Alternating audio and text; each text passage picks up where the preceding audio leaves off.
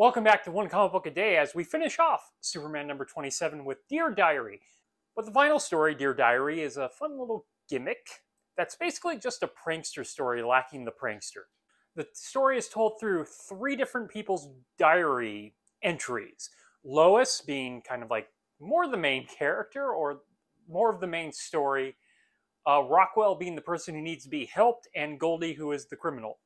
Goldie has convinced millionaire Rockwell to invest with him, doubling his money. He never explains how he's doubling the money. He's just doubling the money. And once the money is actually doubled, Rockwell doesn't really care about how he goes about it. He just cares about the results.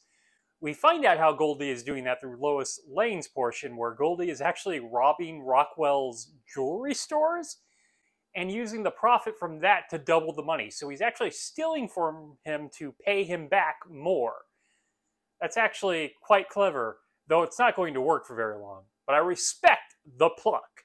Of course, once Superman gets involved in this, this is going to all fall apart. And yeah, it all falls apart.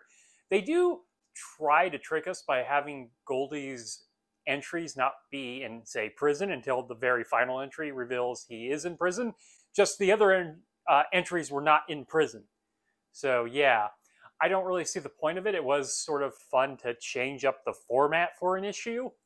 Uh, but other than that, not particularly strong. And once again, it's just a prankster story without the prankster.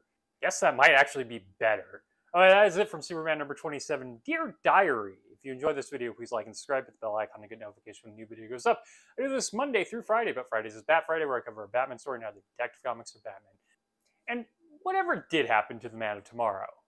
And does Superman not carry a diary? He feels like someone who likes to journal. Okay, have a great day.